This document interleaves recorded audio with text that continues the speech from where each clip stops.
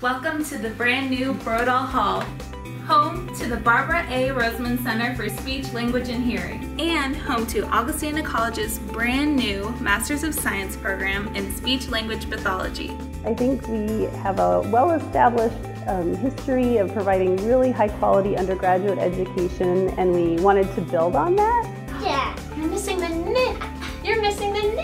So in the liberal arts tradition, we have a program that is academically rigorous, but also focuses on service to the community.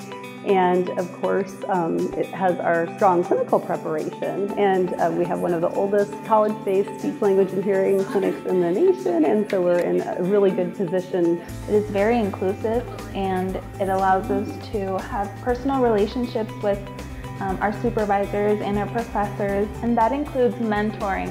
The reason I chose to stay here at Augie's grad program is because as an undergrad here, I really enjoyed the clinical experience, getting to be face to face and work one on one with clients, as well as the academics were really like the right amount of challenging.